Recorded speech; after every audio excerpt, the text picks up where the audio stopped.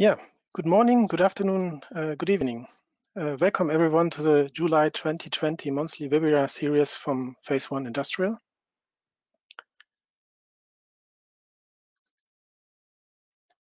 Our uh, today's webinar is related to optimizing your aerial images with Capture One. Uh, let me introduce myself. I'm Carsten Wieser. I'm Integrator Sales Manager for EMEA region, and I'm based in uh, Cologne in, in Germany. Um, when we have finished uh, the webinar, we will have some time for question and answers uh, to Capture One and uh, how to optimize uh, these aerial images. So if there is any question that you have during this webinar uh, presentation, you can type in a message in the question chat box of the GoToWebinar app. and my colleague Matthias Motz uh, will taking those questions at the end and share it with us, and I will try to answer them directly. So let's start now with the webinar and some very few corporate slides.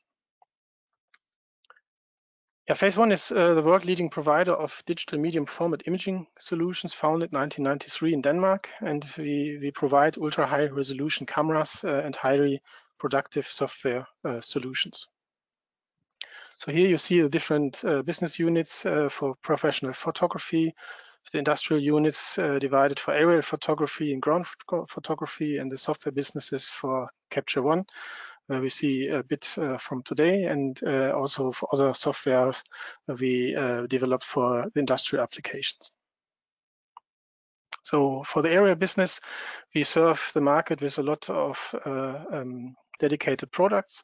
Uh, it's starting with a range of uh, lenses made by Phase One, by Rodenstock and Schneider Kreuznach, which are um, giving a wide range of, of, flexibility for the different missions. All the um, lenses are equipped with a very reliable uh, shutter, which is very fast, up to three frames per second, two, uh, one to 2,500 of a second as shortest shutter speed, minimum half million activations, um, and uh, uh, uh even available for UV application with a motorized lens. So then we have a couple of types of cameras ranging from 50 megapixel to 100 to 150 to 190 with a dual uh, lens setup and up to the uh, 280 megapixel sensor, uh, which uh, consists to 150 megapixel sensors. All these cameras can be available with RGB and near-infrared solutions, and they are equipped with very fast storage options, like internally for XQD memory cards, externally with USB 3 or 10G Ethernet. Uh, we have a, a dedicated computer, uh, uh we call it iX Controller, which can be installed into aircrafts as a storage unit, as a digital uh, center of, of the system. Uh, and as well, we uh, provide a couple of software products, which is ranging from iX Capture, which you also see a bit in this webinar. Um, you can use it for monitoring the cameras, for processing images. Capture One, the software we see today, for optimizing the images and uh, we have planning flight planning software and flight uh, uh, management software and last but not least uh, an SDK which helps partners and integrators to develop on software solution with phase one technology. But today we will see mainly Capture One. Um, Capture One is uh, yeah very long time on the market, and uh, today we have uh, the version 20 as youngest and newest. Um, I will today concentrate on the former version, which is uh, Capture One 12, because our software IX Capture, which you will see in, uh, in combination running with Capture One, is uh, uh still um, installed. Uh, the, the, Capture One rendering engine, so the processing engine, is from Capture One 12 installed. We will see a, a Capture One 20 version of it uh, later the year, but from today, you need to use Capture One 12 if you work in combination. Capture 20 can do everything what Capture 12 can, but uh, even more. Uh, but Capture 12 again is uh, the uh, the basis also for iX Capture today.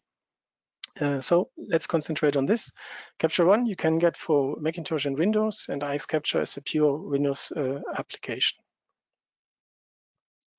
You can download uh, Capture One 12, so the older version from our website, captureone.com. You need uh, to register and then you can go to the software archive where you have access to uh, former versions. If you just uh, press the download button, you end up with, with Capture One 20. Uh, uh, search for the um, uh, history for the archive, software archive, and then you can, can download this. The IX Capture software you can download from the website industrial.phaseone.com. here, just a screenshot from the software archive, archive uh, so that you know how to download the 12 version if you want. Yeah, Capture 12, if you start the software the first time after installation, you need to select uh, which license or which type of license you want to activate. And there's a couple of options you see because Capture One is not only used for the aerial application, you also have uh, lots of photographers that using it and also um, uh, pro professionals that using uh, uh, raw images and convert them to nice looking images. Uh, so here you see a lot of uh, versions for the Pro version, which has uh, all the full feature setup versions dedicated for different camera manufacturers. But on the right, you also see the Pro, Pro DB version. This is Capture One for camera Phase One camera owners. So here you not need any license code, just press ProDB, and then the software activates uh, for unlimited use with images from phase one cameras. So when you uh, when we're talking about images from phase one cameras, we're always talking about the phase one RAW format, which is named .iiq. Uh, all the aerial products you see on the left hand side uh, generate uh, these files and uh, then it stores either on internal storage or external storage, um, and uh, you have two formats uh, to choose. So we once have IIQ L, which is the largest uh, file. It is uh, the best possible image quality for the aerial cameras. And you can say that uh, in terms of size, uh, it is uh, smaller than the, that the, the image product, what you get out of it, because we do a lossless compression on the raw file, so that you can say that a 100 megapixel camera has roughly a 100 megabyte um, raw file size in IIQ L. Same as for 150 megapixel, again, roughly 150 megapixel of raw file size. You can optimize it uh, in terms of uh, storage space. If you select IIQ S, it is again a RAW file. It is a full resolution, but it is uh, a bit compressed, a bit stronger compressed. Um, and it's nearly not visible and, uh, uh, and nearly lossless. Uh, it is not lossless, that's why I'm telling you that, but it's nearly lossless and is a very good alternative if you have bigger projects and you need to save some storage space, because then you save one third in average of storage space. So it means from the 100 megapixel, you have roughly 75 megabit, megabyte storage space for every single image.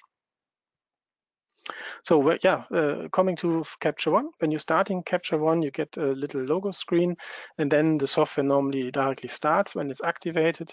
Uh, already you see here the normal home screen when you start the application first time. Uh, to guide you uh, what what you find here. Uh, we have the main tool tab on the left hand side. There are all the main tools located.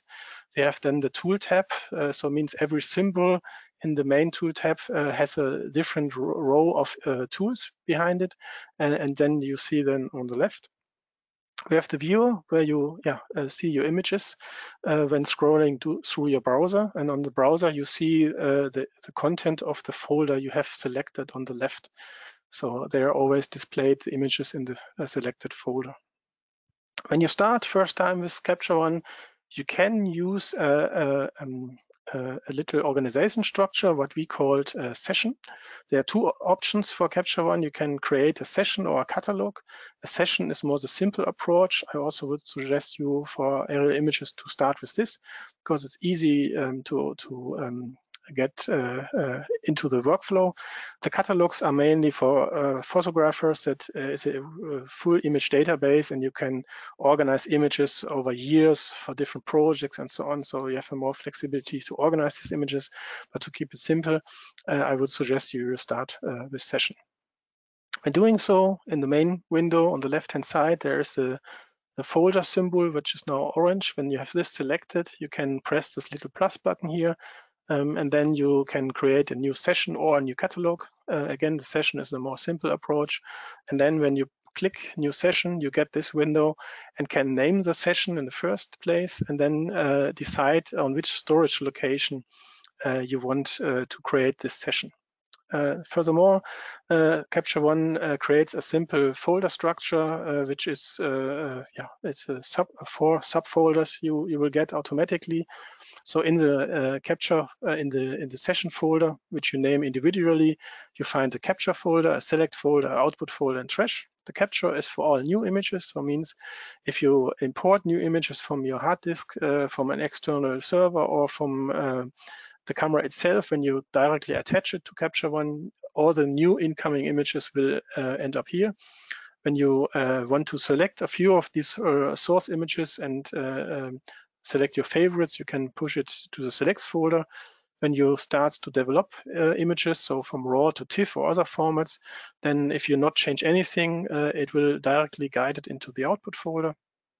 And when you um, delete a, a file, uh, it will be transported into the trash folder. So it means everything what you do uh, is then inside this folder, in the this session folder. You can uh, work on this on one computer uh, with your session, transfer the folder from computer A to computer B. When there's also Capture One installed, you can run the session from the second computer just by transferring the folder. And when you open there the session, uh, you will see exactly the same what you had before on the first machine. Even the trash is transported if you not uh, um, clear it before. Yeah, so everything is inside this uh, session. You don't need uh, particularly to do to do or to use a session. You also can directly inside the uh, Capture One. You can go to your uh, your uh, folders, to your drives, and directly can also select images there. But if you do so, uh, please remember you need to select a valid output folder uh, later on when you convert the images. Yes, so starting uh, with the general overview uh, to Capture One, uh, we ha will have a deeper look uh, to the main tool tab where all the um, different uh, tools are located. Here we have a list of all the, the tool tabs, uh, and then there's a library tool tab where you have the direct access to your session or to the hard drives. we have some filters there. If you mark uh, uh, images during your work, you can filter here uh, um, for ratings or color text or something else. We have the capture tool tab where all the tools are related when you directly connect the camera to the computer and shoot into the computer. As we mainly use for that IX Capture, this is normally not in use for aerial applications. We have the lens tool tabs. This is also mainly concentrating for needs for professional photographers um, because the lens correction tool we normally avoid to use in, in aerial images because we want to use metric calibrations to optimize uh, our images. So uh, we will see later on how to customize uh, the view uh, of the tools uh, to get you uh, the only the, the, tools display which you need to do need to use. Yeah, then the color tool tab all the uh, tools which uh, can manipulate the color of the image, exposure tool tab, everything where you can uh, change exposure values, uh, recover highlights, recover shadows, uh, do a levels uh, optimization and all this, but we will see more in depth later on. Then it uh, continues with the detail tool tab. So all the details from the image uh, on the pixel level you can see and also manipulate. Here we have noise reduction, sharpening if you want to use it uh, or not. You can uh, switch it off. We have the adjustments tool tab where you see all the adjustments uh, when you start to working on images and you want to uh, copy and paste uh, this corrections you have applied to the first image to uh, another image or to a row of images. Uh, the adjustment tool tabs will um, help you uh, to do so. Uh, the metadata tool tab is all about metadata. So what uh, the camera has recorded on metadata, you can access here. For the professional photographers, there's tools for keywording and, and, annotations, but mainly this is not in use in Aerial.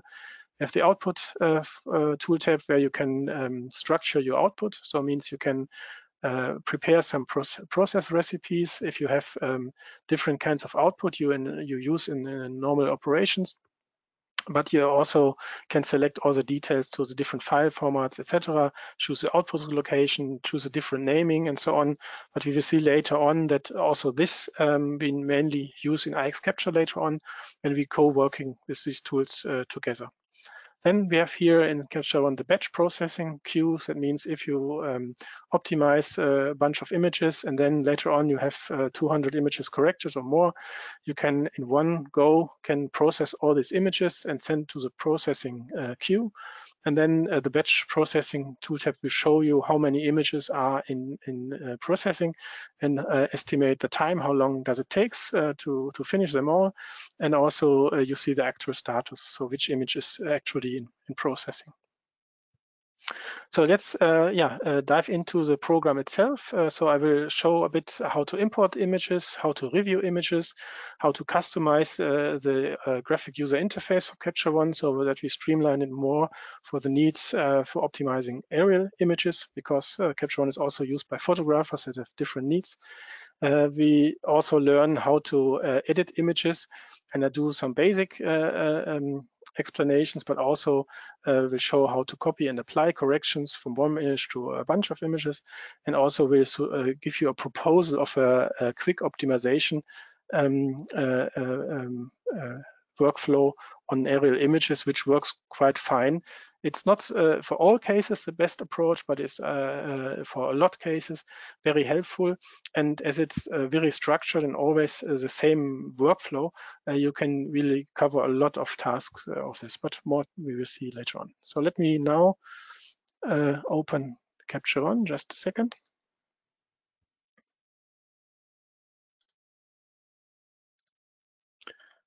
Okay, so now um, I have my Capture One uh, opened and you hopefully see it. Um, so this is again the, the, the, very first start. I already have created a session here and now I can continue to import images. This I can do with this little arrow. This is uh, pointing down here. And um, and uh, here you, um, just a second.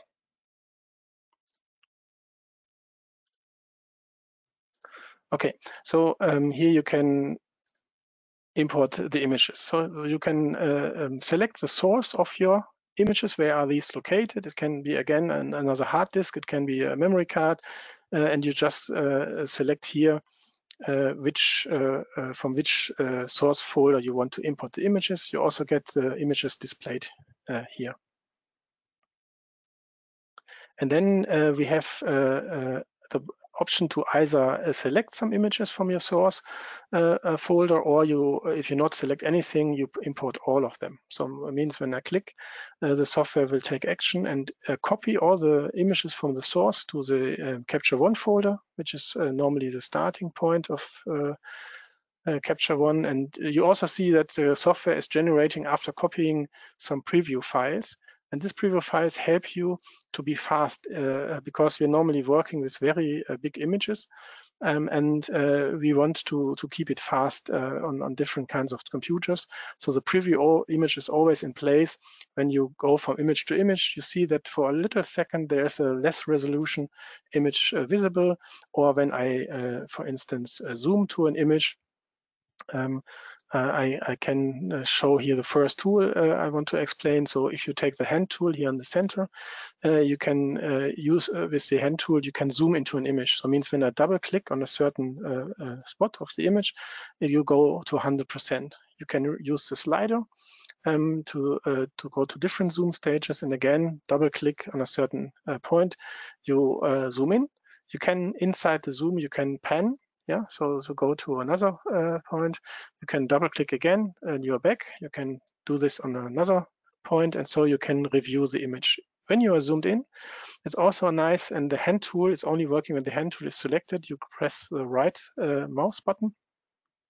You have a navigator uh, window which always displayed on the place where you press the button. Yeah, um, and then uh, you can use this little uh, navigator window to navigate through your image. So to, to have a quick, uh, man, uh, to maneuver quickly to a different um, areas of the image. If you, if, if the hand is uh, moving away from this little window, you will see it disappear directly. So like this, you can really uh, review the images. You also might have noticed when I zoom into the image, you see again a little um, a little um, uh, low resolution image is displayed and then the software load uh, the part of the image uh, that uh, you want to display. So it's always nice and quick uh, when doing so. The same as when you're moving to the browser, you see you can move through all the images very quick um, and this is possible because of this little preview image what is uh, uh, rendered in the in the first place when you import the images.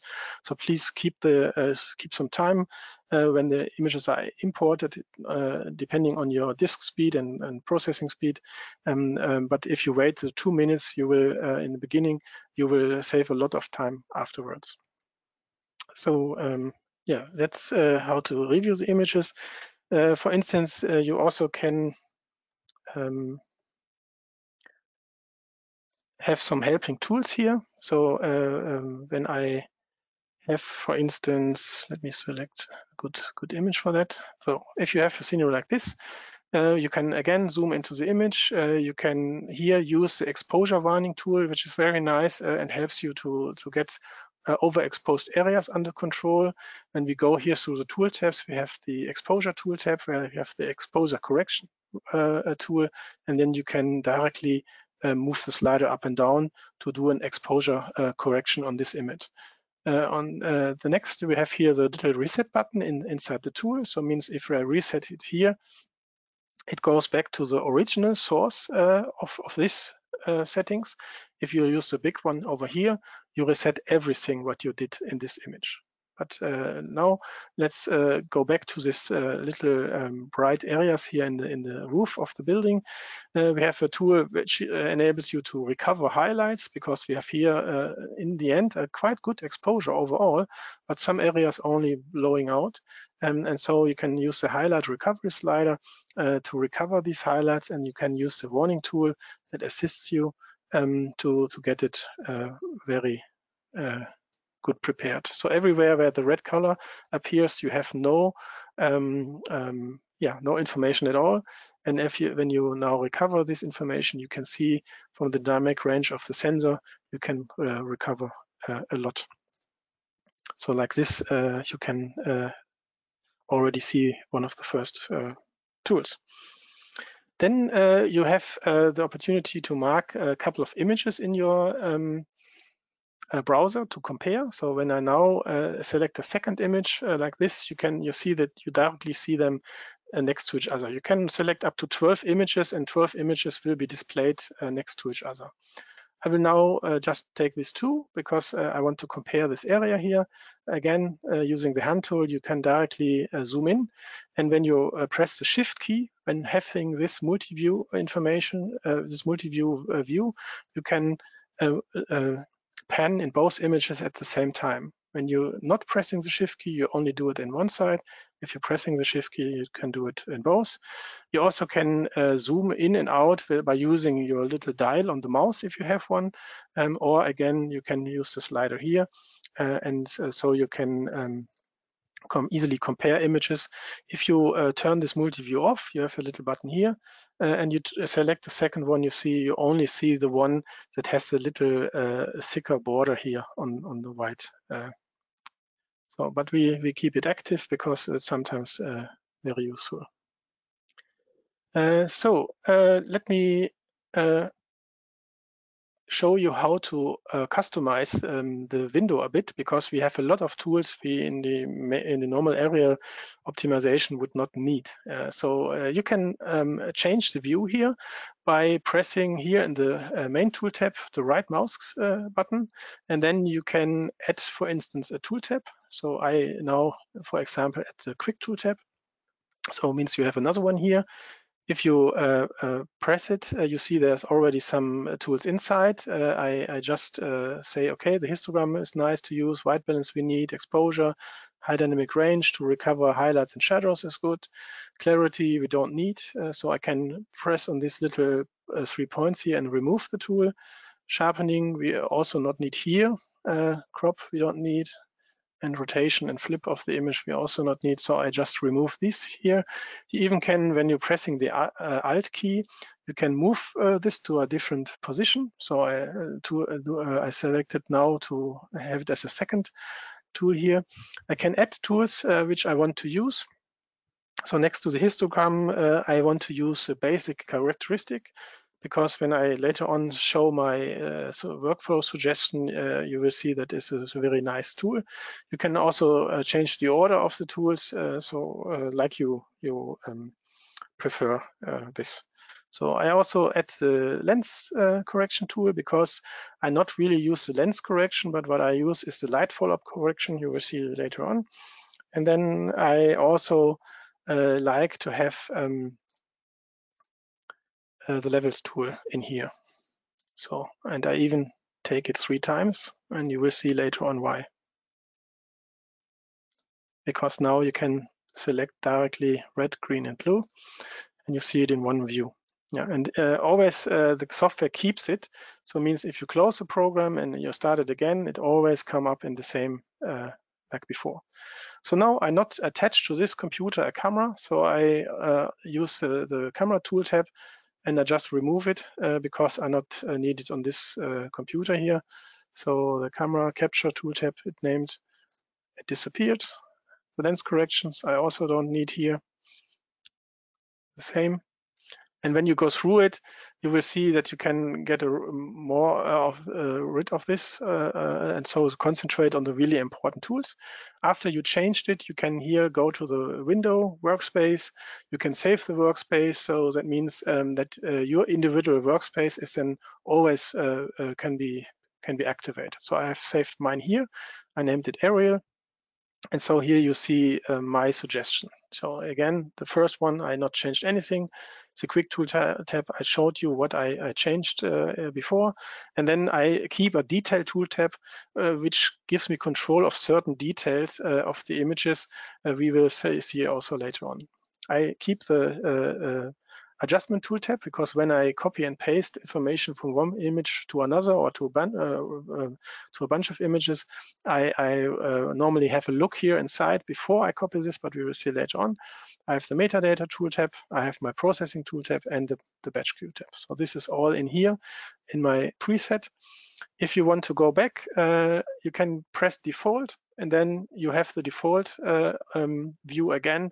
So like the software was installed and now you have access to all the tools, but I personally prefer uh, this one because then I have only the tools available which uh, I'm interested in. Okay, yeah, so uh, in the uh, quick tool tab, I now have um, most uh, adjustment tools. So again, exposure corrections, you can uh, directly exit it here um, and um, yeah, can directly um, changed it. But now I would come to my suggested workflow because it helps you for airborne images uh, uh, and it is quite nicely and it also repeats in the same style in the most projects. Again, it is not helping everywhere, but it give, should give you at least everywhere a very good starting point. Uh, and again, you can use it on multiple images at a time. So let's um, select uh, another image here um, I take this one because um, the first uh, image, which I now start to optimize, um, you should uh, be very careful which one you, you take because uh, the workflow uh, should uh, work for the whole flight. Yeah, and you see that a flight normally have different uh, kinds of, of, of uh, situations. So here we have a lot of fields, we have the city, and, and so you have changing conditions. Here we have river and so on. So I try to pick an image which uh, represents, um, I would say, an average of all the images. Yeah, this is sometimes hard uh, to find, but uh, nevertheless, uh, try it. Uh, and uh, I think in the first two to three tries, you you will maybe select first a wrong one and select later on a better working one. But get let me get you um, some comments on this, how to identify the best one. So again, it should reflect the average of your flight. Um, and so like this, I always try to get a most complex image as possible. So uh, uh, this is quite complex because we have green, we have streets, we have buildings and everything. This would not be so complex because we have a lot of fields. Uh, the same is uh, happening here. We have a lot of river in the image, uh, and uh, so I, I go for this one. But it's always helping for some automatic tools uh, that you have a bit of gray inside your image. And we have it here on the streets. Uh, so this will also help us um, to get a good starting point for all the images. So let me continue with my selection or with my proposal. Again, uh, select the image which uh, has a very complex um, um, uh, motif and uh, also um, try, um, yeah, take some time to identify the right one. It helps you later on to save a lot of time. For my uh, workflow, you need to uh, change one preference settings, which is not uh, activated by default when you install Capture One. So, and this is the only one you need to change. Uh, so go to the edit uh, tool here in the uh, edit menu here in the preferences. And inside the preferences, go to exposure. And there for the levels tool, you have an options to choose. So the factory default is RGB channel. and for my so workflow suggestion, you you need to change it to red, green, and blue.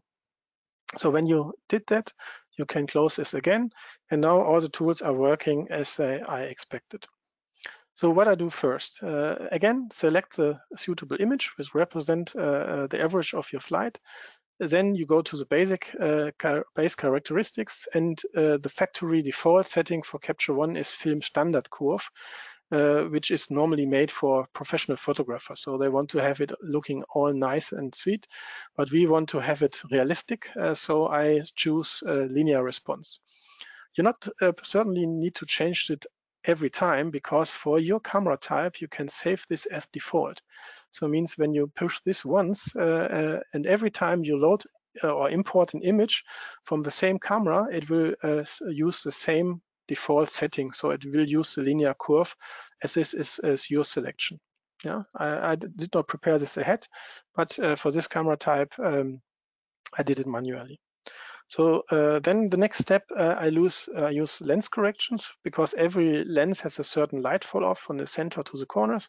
On this lens is already pretty good, but nevertheless we can optimize the uh, camera. The lenses, uh, the Phase One lenses are all already automatically um, uh, selected here because in the metadata of the image it is already uh, noted. Uh, so you not need to um, to select the right profile because it's auto-selected, but then I go to light fall off, I type in 100%, and so now we have a perfectly homogeneous uh, light distribution on this Im image. So this is the only uh, thing I, I, use from the lens correction tool, nothing else. Yeah. The next step is I use automatic exposure correction because the linear uh, response is uh, slightly too dark in my uh, opinion. And uh, but also here I need when you install Capture One the first time you need to customize it. So if you press right mouse button here, um, you can um, change uh, what uh, when you're pressing this A for automatic, what the camera should change automatically. I uh, see the only function that is active is exposure. I switched everything else off already. I would suggest you, you do the same. So then I go to automatic uh, exposure correction. I then again uh, uh, take care of my highlights and shadows. Uh, I can use here again this uh, little helping tool, but I also have here um, some suggestions. So highlight recovery, you, you easily can go very, to very high values. You see uh, that is not really uh, um, uh, doing bad things here. It's always good to do good things. The shadows, it depending on your sunset uh, level. So here you see a lot of shadows. So when you not open them, uh, it is uh, a bit um, dark in here. So I also use it here. Um, so for instance, uh, 50 is one f-stop, 100 is second f-stop, same for shadows, and you only change the highlights or the shadows. You not change the whole image. So the midtones and the dark tones are, are not changed when you're using the highlight recovery slider and the, the opposite, uh, the highlights and the midtones are not changed when using the shadow slider. So the next step in my workflow suggestion is that I use the auto levels corrections, uh, which, are, which are already prepared with this uh, uh change in the preferences, uh, because it only works in that way when you did before the, the preference change. So here I have my three channels, I do automatic, and then uh, the software is uh, taking care of only selecting the, uh, the areas where you have uh, the most of information. You see the informations here are less and, and, uh, uh, and the software covers it mainly on this part where you have informations inside. Sadly, the automatic is a bit too strong mainly, so I normally decide, I took from the highest value, I, I took nearly one third off uh, so to keep it simple here, uh, let's decide for uh, yeah just to to um, do 20 or, or let's take 10. Uh, so means uh, 41 minus 10, and I take 31. You also get a feeling for that when you do it a lot of times. And then you see it's getting better. So maybe you do once more, nine. So we now uh, changing minus 20. So I, and so it looks much nicer. Yeah. So this now is not too much contrast. It has an average uh, look here, and uh, it the levels correction also um, keeps normally track of your white balance. So if your white balance is wrong, uh, then uh, you get also here uh, the white balance under control. Important is that you always, when you do changes here, you always do it in the same value. So means uh, I now on every in red, green, and blue, I reduce the value by 20 yeah, to me, it is a, a quite good looking image. Um, and now I can uh, uh, have it done on, on my uh, sample, on my reference image, which I carefully selected. And now I can copy everything. So means here on the right uh, top, uh, you see an arrow that is pointing outside the software. This collects all uh, the changes I have applied to this image. And now I select all the images I have in my folder. I even can, before I copy, uh, before I paste all this information into um, the, the other images, I can even view into my clipboard, which is located here.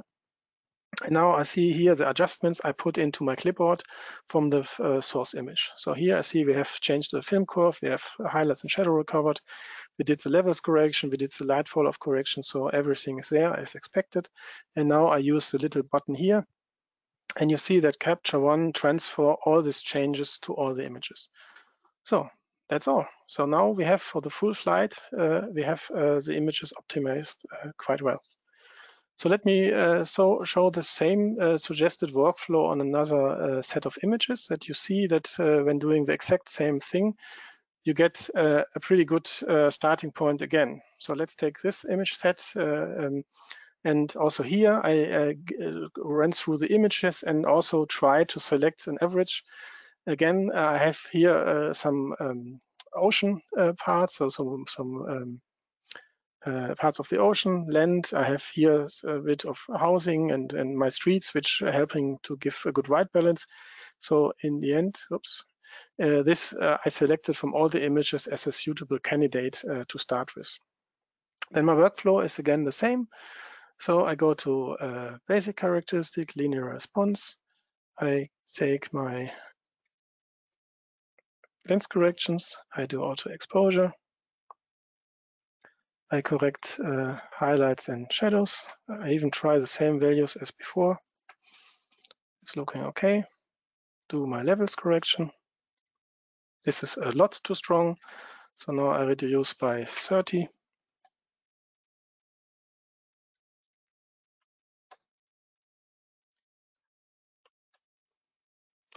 And not too bad. Yeah, so in here, again, in, in rare cases, when you have less of these gray areas, the white balance is not the best one. So you also can change it here to, to uh, use other values and go a bit down. So like this, too much. Okay, this is okay. So again, it works uh, uh, quite nicely.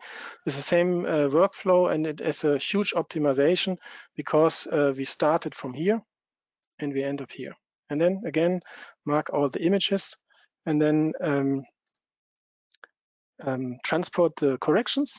We have here seen an image, uh, I'm not sure if you saw it in, in, in, the beginning, that the first image of the flight line is overexposed. Um, uh, the camera here had a wrong or um, um, very offsetting as a starting point, and then the camera normally needs one image to adjust.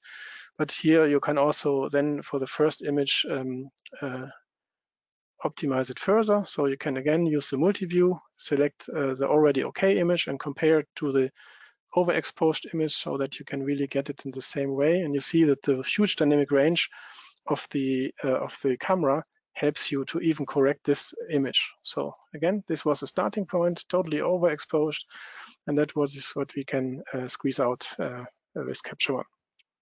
So again, same workflow. You see uh, very fast you can can optimize uh, the images. Let's do it uh, very uh, last time here on this data set. Here we have a lot of haze in this image. images because it's first flown in very high altitude. And I do the same uh, thing again. I already um, prepared for the webinar here to go in through the images. Again, I selected this image for a good candidate. I do the linear response. I do the light fall off. I do the dynamic range. I do my auto levels. It's uh, oh, I missed uh, to then go back. I missed to press the automatic exposure button, automatic levels.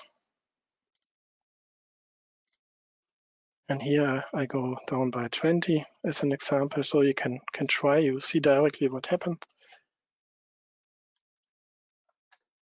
And yeah, looks also quite okay to me. And then again, copy, select all the images, and you have uh, the flight well optimized. Okay. So what can I show next? Um, yeah, let, let, me show uh, some more examples. So when you have uh, maybe not uh, you not do mapping, you do inspection. I have here a set of images taken from a UAV, um, and this is just an inspection of, of uh, cell phone tower. You see here, so once around the, the, tower, and also here we have changing light conditions and so on. And I even here do the same workflow again. So I, uh, I but here it's it's very similar background and all the things you see. Therefore, I need not really to be very careful to select the right image. So I just start with the first one uh, and I, I, do the same workflow again. So linear response, my corrections here. Uh, but now I do one step different because I have changing light directions. Uh, so I now uh, mark all the images and I not do the automatic exposure just on one image, I do it to every image. So now the software is doing it individually to every single image because we have once the sun from the facing from the front, from the back and so on. So this is a bit uh, more challenging and now the, uh, the software do an average um, exposure corrections to every image. That helps to get uh, them aligned a bit. Also here, I use my highlights again. Oh, that's too much. Let's do it a bit less. Open the shadows. Uh, also a bit too much, a bit less. And I do my levels correction. You can press the automatic in whatever uh, levels you, you want. We have three times the same tool here. Uh, it's a bit too much.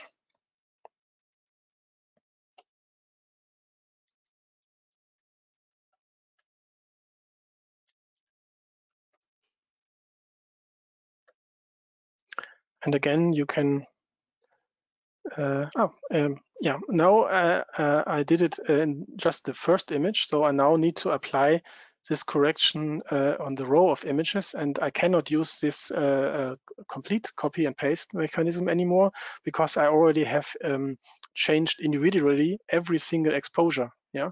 So but here we have in every tool we have an, a second way to do that. So here's a little arrow facing uh, two two sides. And when you push this one and you mark ahead all the images you can transfer this correction from this image to all the others. Yeah. And I can do for high dynamic range. I can do for lens correction my light fall off. And so you even can afterwards uh, change um, uh, the view yeah, yeah, and then again we have uh, good average corrections uh, for the whole flight, uh, which normally is um, a good way to use. Okay, so yeah, this is I would say a suggestion of workflow which helps you here. Um, now uh, let's see how to combine this uh, to um, iX Capture because uh, we have the iX Capture tool uh, which can do a bit more um, uh, when um, yeah, when uh, uh, developing the images, when processing the images. Uh, and just a second.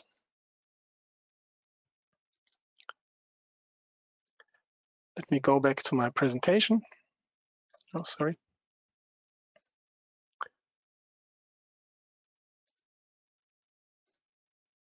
Okay, so here is just uh, for for the viewers uh, that you have the steps I did for my uh, workflow proposal here once displayed. So you can print it as a checkbox if you uh, make a screenshot from the video later on. The video is recorded, so you can see it later on. And here, uh, I just want to also to mention when you're working with Capture One and um, uh, Capture in combination, you can prepare all your corrections in Capture One, but you not certainly need to process it in Capture One because every time you do corrections on images, Capture One is creating a settings file which is stored uh, beside um, uh, the images itself. So it means uh, next to the images, Capture One creates a Capture One folder, and inside there is a settings folder, and inside the settings folder for every image is the correction, uh, what you apply to these images. And then when you start iX Capture, and use images, so select as a source uh, a folder where images already are located and which were already beforehand uh, uh, um, optimized by Capture One, you will have the Capture One folder inside. So iX Capture will read these settings and will use them for processing. Yeah. Uh, for processing, uh, Capture One uh, is our favorite tool for optimizing the raw images. You create the settings which can be used also in the iX Capture processing workflow. You can, if you want to, directly export uh, images from Capture One to various formats like TIFF or JPEG. You can do batch processing, and you can do also flexible output naming options if you want to.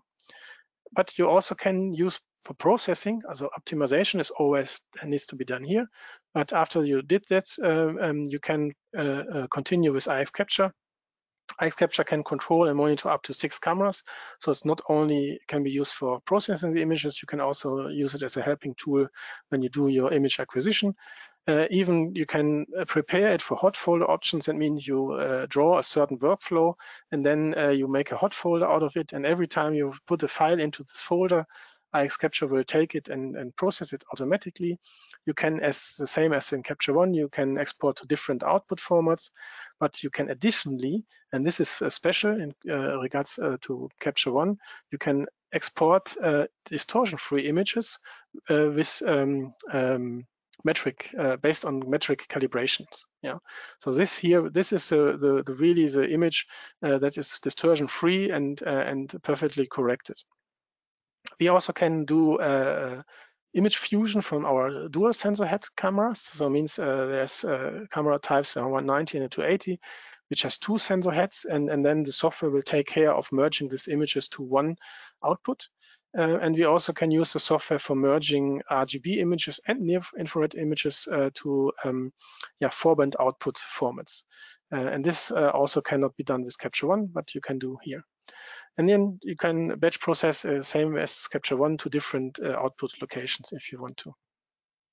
Just to show you an example for uh, a workflow when combining uh, the power of uh, optimization, your images uh, from Capture One with a, a capacity of creating distortion-free images or even four-band images as your output format. So uh, we started again, work everything out in, in, in, in uh, Capture One. So here we see the source format, uh, the source image. On the left, the raw file. In the center, the near-infrared raw file. And then uh, when we put this all together without applying any changes, you get the right uh, uh, CIR um, output. When I do optimization, I just left on the left-hand side, I use my suggested workflow uh, to come from, from this image to this image. Uh, I did nothing on the near infrared image except of light fall off correction to have a homogenic uh, light distribution. And then uh, if you put this together, you get uh, the output on the right hand side. But on this particular flight, um, there was very uh, um, bad light, conditions or less um, um response from, from the vegetation. And you see here that normally the red areas are very low. So you can also use uh, uh, Capture One to optimize this. So uh, we used on the left the raw file, optimize it with the suggested workflow, take the near-infrared image, do the light fall-off correction, and then push uh, the whole image uh, by one f-stop plus in exposure. And you see when you put this together, uh, the CIR output is, is uh, showing more uh, uh, reflections.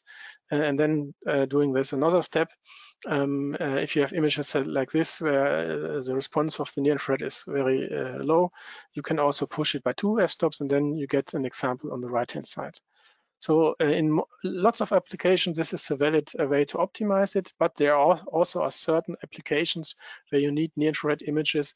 Uh, you need to consider, consider this change of, of the near-infrared channel uh, for further output analyzation process. So if you have a calibration, so sometimes you have calibration targets for agriculture applications, then you need to be uh, uh, taking this into account that there was a correction made and you need to, to um, add this to your analysis later on. Yeah, this uh, I think for the time, uh, Capture One is so powerful that there's a lot more to tell, but uh, I hope I could get you a good overview uh, so far. Um, and uh, now we have some times for uh, questions. So Matthias, if you have some questions collected. Um, hello, everybody. So we have three questions only. Um, one is already answered. This was uh, whether a recording of this presentation will be provided. Yes, uh, there will be one provided in a few days time for to just to see it again. Uh, then we have two technical questions. One is for the IXU 150. I, I assume he means the IXM 150.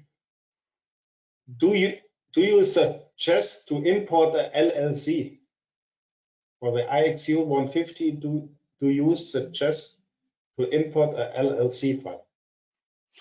Lens um, correct. It, it's not uh, essentially needed. So um, let me um, so the lens correction, um, lens uh, uh LCC lens cast correction uh, uh, can do different things. So first of all, um, it can. Uh, there are some lenses, especially in the commercial uh, photography market, this has not a accurate color distribution. So means you have maybe, especially in the corner, you have some color movements or chromatic aberrations and, and, something like that. So the better lenses normally not have this. So so we not essentially need to correct it with this tool because this tool can can do this correction. What the tool also can do, the lens cast correction tool is it can uh, help you to get rid of the light fall off. Yeah.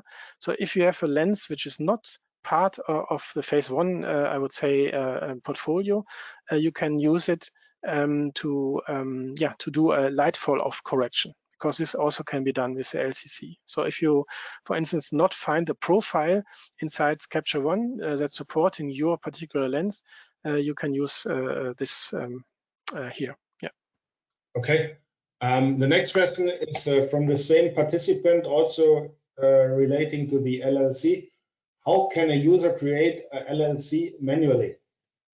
So this needs a bit of preparation because uh, lens cast correction means that you take a sample image, uh, which I would say shows the overall um, uh, behavior of your lens, of the light distribution and color distribution. And uh, to do a correction of this, um, you can uh, use a little plastic uh, board. Yeah, this is normally a translucent white plastic board which has some transparency, so it's it's translucent as translucent and uh, and then you take a photograph uh, when you're covering the lens fully with this little plastic board yeah? Um, and then you take a photograph and in the end you only get an image which is nearly fully gray yeah? But sometimes it also shows the light fall up uh, fall off to the corners and you can uh, use this uh, to correct this light fall off. And also sometimes again it's only behave on, on um, I would say commercial lenses on the professional lenses is not seen very much um, that you have maybe also a color uh, gradient on the on the corners um, and this you also can then compensate with this tool Okay. And then in the end, you do your reference image, and then inside the LCC uh, tool from Capture One, you can um, uh, uh, make a reference, uh, a correction out of it, and this correction you can apply to every image. There's honestly a very good description of it uh, in our um, uh, support database. So if you visit phaseone.com or captureone.com, then you can get to the support knowledge base and type in LCC, and you get a very qualified um, step-by-step -step explanation how to do that. Yeah. Mm -hmm. But also, okay. I'm happy if, if, the participants send me an email to to get further instruction if needed. Good. Uh, we just got some more questions in. So the next question is, uh, what is the best way to export to TIFF to preserve image quality? So uh, for sure using uh, uh, Capture One or iX Capture, because when we uh, do the transition from RAW to um, to TIFF, uh, we have a, a lot of uh, um, uh, experience in how to do that. So means uh, the, the original raw image is a, a, not full color image. It's just the sensor information. And we do, uh, uh, as we have a sensor with RGB channels, we have to do demosaicing, debayering, and, and so on. So we do a lot of steps to, to get pixel by pixel the most out of it. and But when you then transfer it to um, to TIFF, the TIFF is a lossless uh, uh, compressed uh, file, yeah, uh, or it not even has a compression. So a TIFF is a valid format to save most of, of your image quality. Uh, and all the important steps for uh, exposure corrections and all the manipulations you normally do in Capture One, please do them on the raw format mainly, and then export to TIFF. Because when you take the TIFF and do the same on this TIFF file, you will see that you have a, a very small range in, in optimization only left over. Yeah. Okay. Next question. Uh, can I do a fast mosaic using IIQ phase one program with IMU data? Or do I need other programs for uh, uh mosaicing? You need uh, really other programs to do that uh, because uh, Capture One or iX Capture can't do that yet. Um, you can help uh, you because in Capture One you can export, or even in in uh, iX Capture you can export smaller formats of it. So it means uh, you can in the in the um, uh, tool tab where you can change the parameters for uh, for export. You can change, uh, for instance, that you not want to cover 100% resolution. You only want to export, I would say, 10 20% resolution, and then you have smaller files where you can easily do that in in third-party programs. Yeah. Mm -hmm. Okay, next question. Um, can I customize my images with C0012 without importing? So I won't have a second copy of IIQ. Uh, yes, you can. Uh, um, you not need to use a session. Um, you also can directly inside uh, Capture One uh, on the on the in the library uh, folder tool tab, you can directly uh, enter your hard disk, yeah, and then you go to the uh, uh, folder where your images already are located, yeah, and then you directly can work on these images in this folder, yeah, and then no image is, is moved somehow. So only when you start editing, Capture One will add to this folder next to the images all the corrections, the settings, uh, which you then can use for processing. Okay, then there's another question related to the LCC um, creation. Is this also done for all f-stops? The uh, light distribution uh, of the lens is changing when uh, changing the f-stops. Yes, so in when you make uh, want to make it very accurate and you use an own self-made LCC or light fall cor uh, of correction, then I would suggest to do it uh, for every aperture. Yeah. Okay, thank you. Um, yes, these were, were all questions. Um, to the participants. If you have any further questions, just contact Carsten directly or our support teams. Um, so there are no more questions from my side or from your side. Um, thanks for that. And I hand back to Carsten now to close the presentation. Okay, yeah. And thanks uh, uh, to all the viewers for joining this uh, webinar. I'm looking forward to see you again on the next webinar. We do it on a monthly basis, uh, basis uh, and like always, the webinar is recorded and will be provided here within the next two or three days on our website, so you can go back and view it again or reference it to someone uh, you you think also uh, want to see that. Um, yeah, thanks uh, again for joining uh, our webinar and have yourself a wonderful and great day.